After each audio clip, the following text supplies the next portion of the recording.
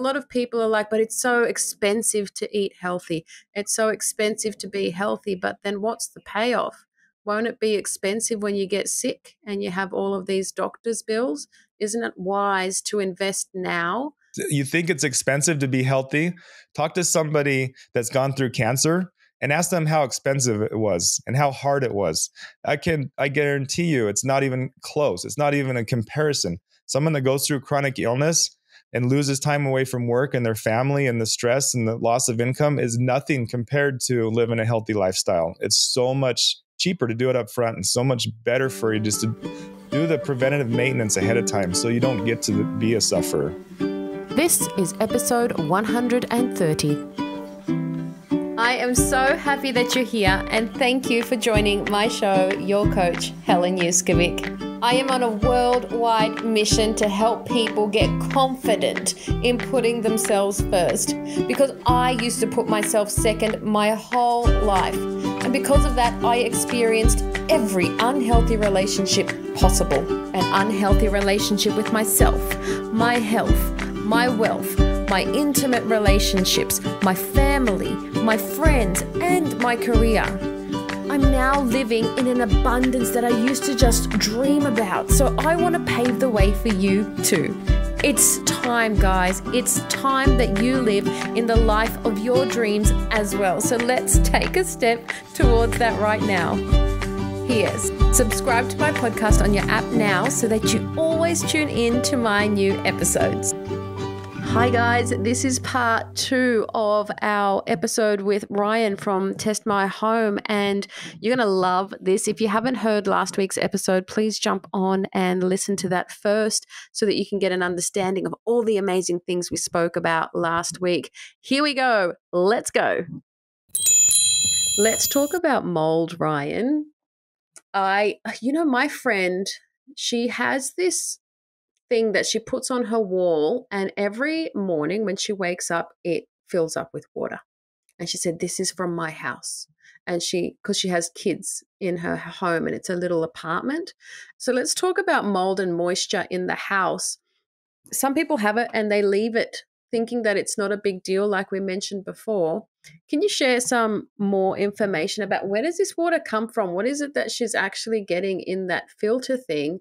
And why should we worry about that? Yeah, a couple things. So mold has to have water to grow. It's an organism that's living and alive and it's actually very conscious, very smart actually. And it's just like us, it needs a food source. Typically a food source is going to be anything organic. So it can be paper, it can be wood, it can be leaves, it can be skin cells. It doesn't grow too well. It doesn't like rocks or glass mm-hmm. or plastic or metal it will grow on the surface of some of those things. And what you're seeing, it's growing on the microfilm, the, the dust and the particles that are on those surfaces. So if we have water, and typically it's above 60 to 70% humidity is when we see the risk for mold to, to start to grow. And so what she's doing there, she has a dehumidifier and she's pulling moisture out of the air. She's taking the, the water away from the mold so that the mold does not have a chance to grow. So if you're in an environment that has humidity above 60%, you do want to run a humidifier. Uh, your air conditioning unit will pull water out of the air by nature. Uh, just make sure that drain line is draining properly to the outside. Uh, mold is dangerous because it puts off uh, mycotoxins. And the mycotoxin is the poison that it uses to claim its territory and it's not necessarily trying to hurt us as humans. It's trying to fight for its its territory. Its its species is immune to that mycotoxin but all the other species will die off. So as let's say black mold for example starts to grow it will start to release the mycotoxin kind of to claim its territory kind of like gangs would in, in the big city you know, saying this is my territory, this is my hood, no one come up in here, we're going to shoot you up with our mycotoxins. and so that unfortunately we get caught in the crossfires of that and we breathe that in and that's when we get all kinds of neurological effects. We get the headaches, the brain fog, the dizzy, we get the skin irritations, get stomach issues. I mean, the, the list goes on and on because it's just basically just a poison for the body and it attacks the body and it uh, hits us at our weakest point. So, whatever your weak link is in your body, that's typically where you're going to see your symptoms start to show up first. Got it. You mentioned black mold a few black mold a few times now. Can you explain? Is there different types of molds that we should be aware of? Yes, thousands and thousands of different types of mold, different species. Just like we have thousands of species of animals, some of them are very dangerous, like lions and tigers and bears. We don't want to mess around. Some of them are very uh, harmless, like little kitty cats, you know. But the same thing with mold. We can have mold that's very, very dangerous that can uh, that can kill us, and there's some mold that's not harmful at all. That can be beneficial. Penicillin is is made from a mold. It can be antibacterial. There's a movie I watched recently called uh, "What Happened to Brittany Murphy." She was an actor off Eight Mile. Um, yeah, she died, and they think it, it was because of black mold. Once she, her, and her husband both died living in their house when they sold the house. Her husband they did, too. The husband too. Yep. They the person who bought the house went into remodel and it was 100% riddled with black mold from top to bottom. And they both they I think in the report it said something about lung or you know um, pneumonia but more than likely it was the black mold that got them because they never left their house. And it's because we inhale it and our body just doesn't know how to filter it out, right? So what's happening is it's creating some sort of disease in the body. And the more you're exposed to these sorts of things, the more your body's just saying, Can you stop? I can't handle this anymore. Boom, here's a condition. Yeah, back in World War One, I, I believe, or two, they were experimenting with nerve gas that was developed from the mycotoxin off of black mold. So the the, the nerve gas that they use in warfare was is derived from the mycotoxin from black mold. It's a literal poison. That's crazy. I love your brain, Ryan. Oh, thank you. then we have the other side to mold, though. There's about 25% of the population that's actually allergic to mold and they get a different set of symptoms. They get the more of the skin rashes, they get the stuffy nose, they get the watery eyes, the sore throat, fatigue, and that's just from being around the mold parts in general. Uh, doesn't necessarily have to be the mycotoxins. So interesting. Ryan, it's time for your third curveball. Are you ready to All play? Right, let's do it. What's your favorite form? What is your favorite form of self care? Oh, I have a lot of self care stuff, but you know, I I like to I like to exercise. I like to get physical. You know, every day. If I don't do that in the morning, I get up early and I go do my workouts, and I like to do the sauna. If I don't start the day that way, it kind of throws my whole day off. So that's real important to me infrared sauna or is that like a cold Both. sauna? It's uh the, the sauna we, that I go to has the red light and and the heat sauna. So it's kind of a combination sauna. Wow, I have an infrared sauna downstairs here. I have a wellness studio here at home. Oh, yes. So I love the infrared sauna. Let's go back to our conversation. Ryan, I want to talk about some ways that people have toxic chemicals in the home that they might not even be aware of.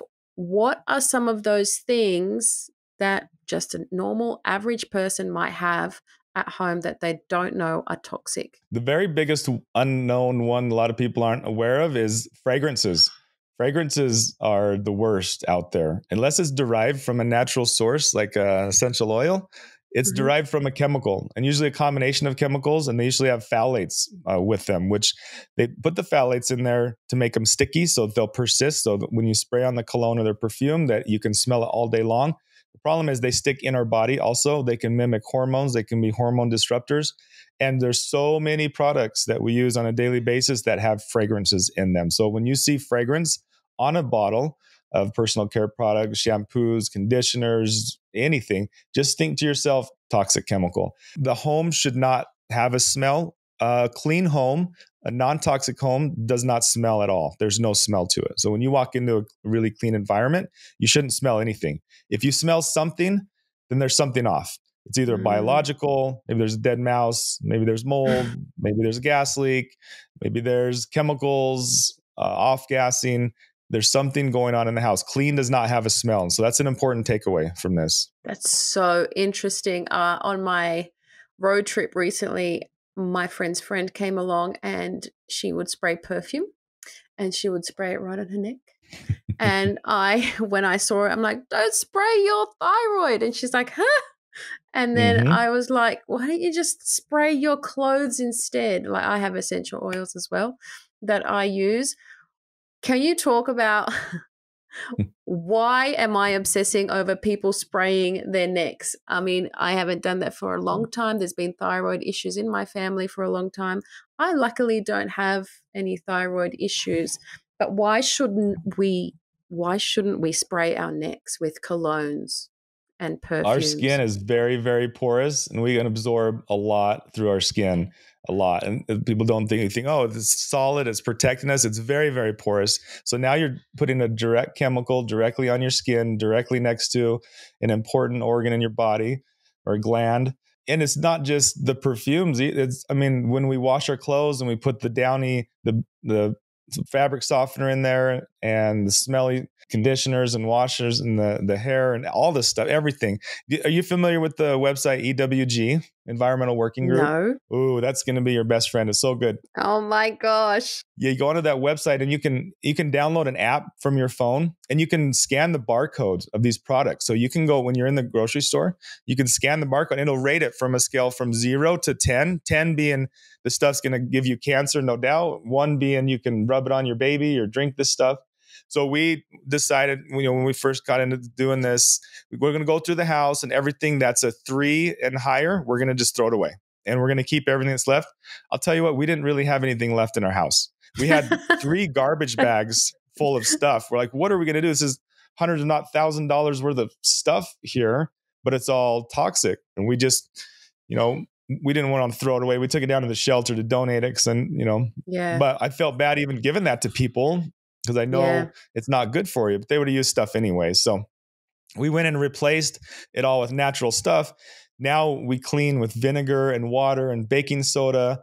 We have all the natural. My wife, you'd love her. She's pretty granola crunchy. She's got all the hippie yes. stuff in our in our house, but she keeps I love her already.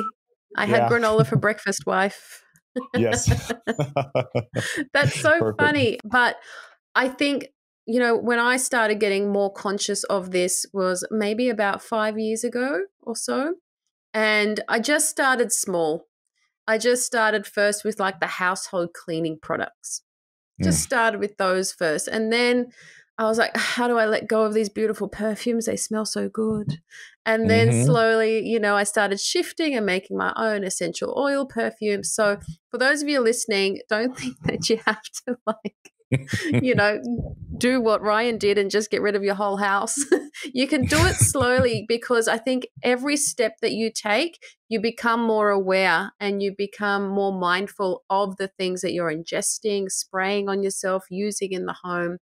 Uh, so I think that's a really important thing. Anything you'd like to add? Um, you know, I meant I would mention if you are sick, if you are suffering. So we, we deal with three different types of clients. We have our sufferers, we have our warriors and we have our warriors. So our, our warriors, it's like me and you, you want to live as long as possible. We got our wellness spas, we do our saunas, eating healthy. Uh, then you got your warriors, and that's typically the mom with a couple kids, uh, just want to be as as conscious as possible, make sure there's nothing in the home that's causing any kind of illness. Then you got your sufferers, and these are the the category that I have the most heart for. These are the people that are suffering, that are not well, they're sick. And sometimes they've gone to four or five different doctors. And I know because I've been there. I was one of those people. I was a sufferer. Now I'm a warrior. But we want to turn all these sufferers into warriors. But mm. if you're a sufferer, sometimes it does take just throwing this stuff away and really starting pure and natural and getting back to nature as much as possible. Use nature as the gold standard. Say, did this actually come from nature? How processed is this? Is this something that went through a factory? Is this something that has chemicals in it that I can't pronounce that I don't know what they are? If it is, maybe you shouldn't be using that right now. Wait till you're getting wait till you get better, till you feel good and then you can revisit some of this stuff if it's something you're truly attached to. But you probably I get I probably you won't once you get past it and you get better, you won't want to go back to that stuff because there are a lot of natural healthy alternatives and a lot of times they're not any more expensive. We've replaced all of our cleaning products with vinegar and water, and then we put lemon peels in. I can tell you that's very, very cheap, very yeah. cheap. So a lot of the alternatives are not any more expensive. Yes, I agree. You know, that's the first thing that people think, even with food. You know, if you don't know what the word is on the back of your can or your packet or whatever you're eating, then you just know that you're eating some sort of a chemical if it's not natural. And a lot of people are like, but it's so expensive to eat healthy. It's so expensive to be healthy. But then what's the payoff? Won't it be expensive when you get sick and you have all of these doctor's bills? Isn't it wise to invest now? But as you said, I don't find it that much more expensive. I actually find it a lot cheaper. Like my perfumes, they used to be $100 to $200. Now, with an essential oil, I've got a perfume mm-hmm. that costs me like a few dollars. Yeah. And so you're saving, you're saving on money and you're saving on your health. And my friend that I was telling you about with the humidifier, she got, you know, an illness. And so the first thing I said to her was, you know, maybe she had implants. I said, maybe you should take out your breast implants because I hear mm-hmm. that they cause a lot of autoimmune issues. And have you thought about your house? Like, is there mold? And yeah, last time I went, she had the humidifier and she has gotten rid of her breast implants as well. So, yeah, just you mentioned before that, you know, there's the sufferers. And if you are suffering, I would say do what you did and empty out the house of the toxicity just in case anything that you are ingesting is causing more harm, which it probably is. yes. Yeah, you know, you touched on something too that I resonate with well. You you know, it's it's you think it's expensive to be healthy. Talk to somebody that's gone through cancer and ask them how expensive it was and how hard it was. I can I guarantee you it's not even close. It's not even a comparison. Someone that goes through chronic illness and loses time away from work and their family and the stress and the loss of income is nothing compared to living a healthy lifestyle. It's so much cheaper to do it up front and so much better for you just to do the preventative maintenance ahead of time so you don't get to be a sufferer. Mm, totally. Ryan, it's time for your next curveball. Are you ready to play? Okay, I'm ready. Ryan, when was your last, big or small, when was your last random act of kindness?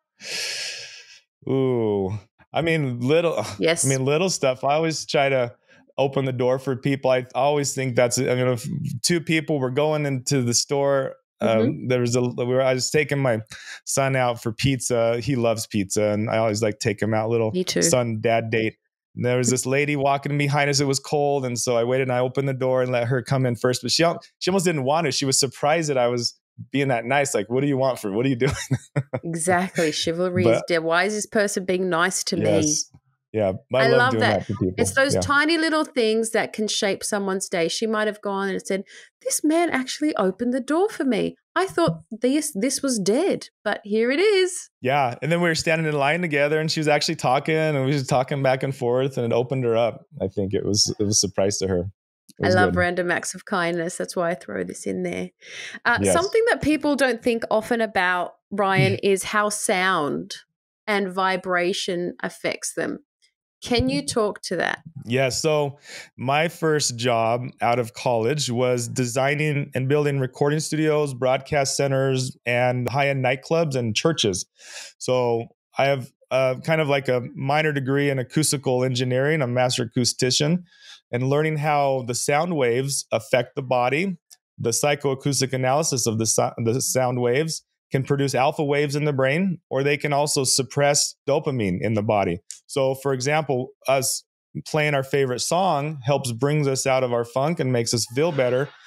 Likewise, a dog barking at four in the morning or a baby crying repetitively, if it's not ours, can be annoying to us. Or, you know, if we're living next, staying in a hotel that's next to a freeway and the car's driving by, so different sounds can have different effects on the body. Now there's frequencies that are also subharmonic frequencies and supersonic frequencies that are above the hearing range that can affect the body. And a, an example we find in homes sometimes is if there's a really small leak in the HVAC system, or if maybe there's a motor like a fridge. When a fridge kicks on, it can create mm-hmm. subharmonic frequencies, which can go through the house. People can get anxiety because of that. It uh, trigger seizures in, in some cases. And these frequencies, uh, we find these frequencies and, and, we help eliminate them. You know, some people like white noise; it helps them sleep. Yeah. For me personally, I like things quiet. I grew up out in the country, so I like things really quiet when mm. I sleep. But it, it uh, really sends cues to the body to tell us where we are spatially and what's going on around us. What do you think about people that need to have a TV on when they sleep? Oh man, yeah. I've, no, I've run across those people. So because I always tell people, let's take technology out of the bedroom. Let's only the bedroom's only for sleeping sex, sleeping and adult time. yes. yes. and let's keep it at that. And it's not for yeah. working, it's not for entertainment, it's not for TV. Let's take technology. But yeah, they say, well, I need that in there to sleep. And I guess if that's what they need, that's what they need. Everybody's a little bit different. Yeah. It's caused problems in relationships for me. Yes. I cannot sleep. I don't like TV. When I sleep at all, I love peace, quiet, and darkness. But yeah, that's why I was just thinking. And imagine, you know, what's on TV is like a horror film, right? And you're sleeping, and what your body's hearing and what's going on is all of this negative stuff while you're trying to sleep. And I just don't think that your cells would appreciate that. I don't think that your body appreciates mm. that. And I feel like it's causing more damage than good. I actually had an audiologist on the podcast recently, and we were actually talking about hearing and how important it is to just watch out for these little things that you could be doing in the home accidentally that could really be causing hearing loss, which you don't even know that you're causing. Yes, very true. Yeah, and I like to do a fun little game in the home where we listen and we find we listen for a sound, the loudest sound, and then we go turn that. Maybe it's a fan, so we turn the fan off, and then we hear what's the next sound. Maybe it's a water running somewhere, so we turn that off. And then we hear the next loudest sound until we get all the way down to where we can't hear anything anymore. And we go, and it's surprising how many things in the home, when you're conscious and aware of it, are actually making noise. That's such a great thing. When when I do meditation, sometimes I just sort of play that game with myself. I'm like, what can I hear? And what can I hear beyond that? And what can I hear beyond that? And it's mm-hmm. actually really amazing to see how far you can hear. Um, yep. So, those of you listening, try that once we uh, wrap up this podcast and see how much you can hear.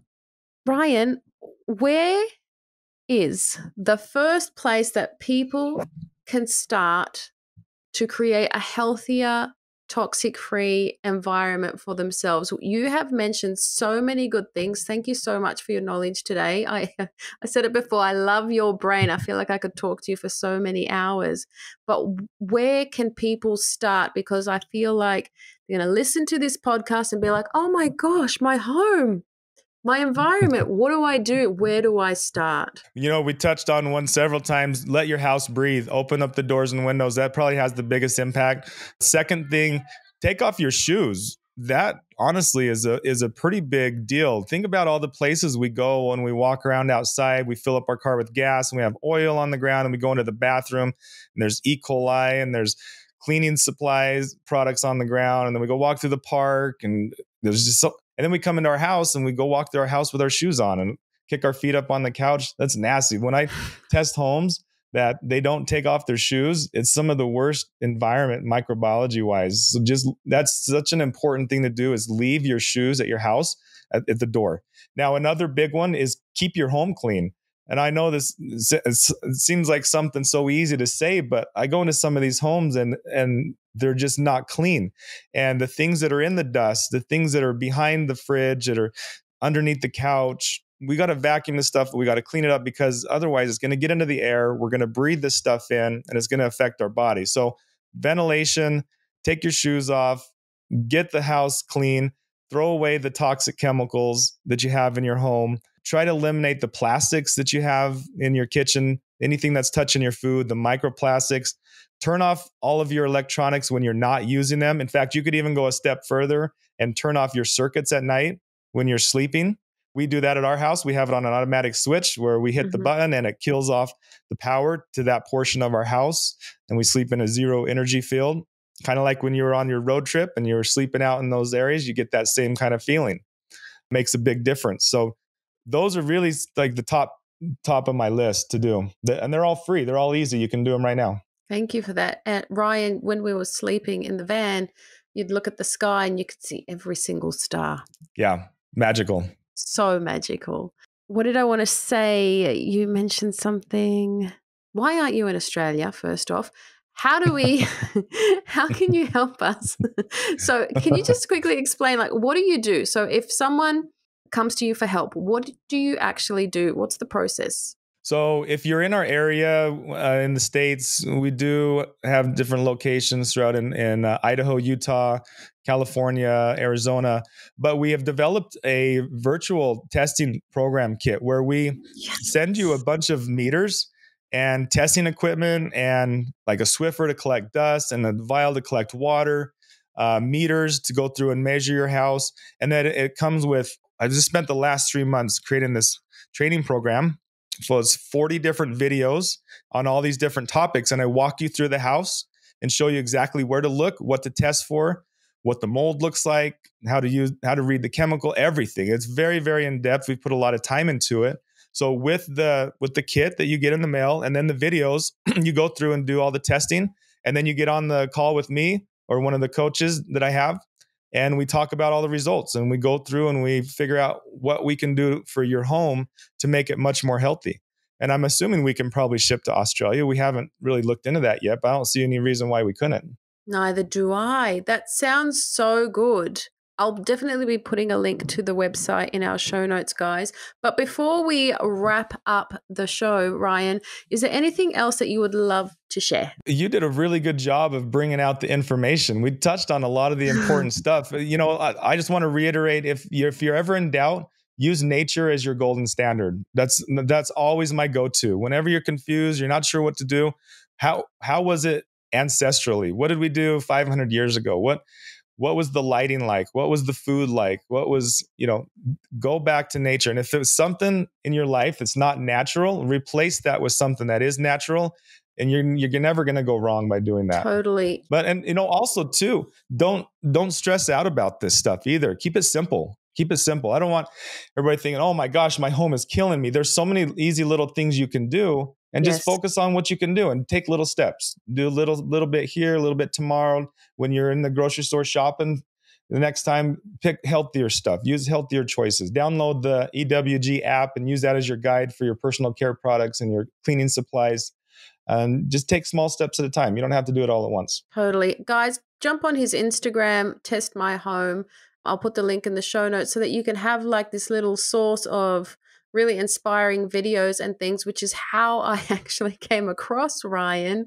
He was on the story of someone else's story that I was watching, and I'm so lucky that I was like, wait, wait, wait, let me go back. Who is this? what are they doing? And then I got uh, our whole health guru to reach out and say, please come on the show. Thank you so much. I might even invite you back so we can delve even deeper into a few other things. Thank you so much for your time today, Ryan. Uh, this has been mind blowing and my favorite podcast of the year so far. Love it. Thank you. no worries. Bye. Hope you found these two episodes super valuable, guys. If you have any questions, just jump on Instagram and please comment below on these posts, uh, and then we'll reach out to you. I hope that these two episodes have inspired you to create a much mm. better living environment at home. Remember, these mystery illnesses and things that pop up, and if you're constantly getting sick and all of this sort of stuff, look at your home environment and mm. just see are there things that I could be doing to purify the air? Are there things that I could be doing to help myself to get into better health? Like your water, like your sound, like the EMF waves, like the 5G, like the hardwiring. Every little thing will help. The toxic chemicals, your perfumes, your cleaning products, what you're putting in your hair, your uh, facial products. Be really selfish with your health. Okay, you are worth prioritizing your health. Okay, and just remember if you think it's expensive now, Think about how expensive your bills will be, your health bills will be in the future. See you next week, team. Thank you times infinity for spending time with me. It really means a lot. Putting yourself first will really help escalate your goals, your dreams, and I love being on the journey with you. So make sure you come and tell me on my Instagram at Whole Health, which is H O L underscore health and comment below this podcast photo to share your thoughts on my show today. And if you enjoyed it, please leave me a five star review on iTunes or Spotify so that I can keep bringing amazing value to you. I'm sending you truckloads of love, power, and joy. Bye for now.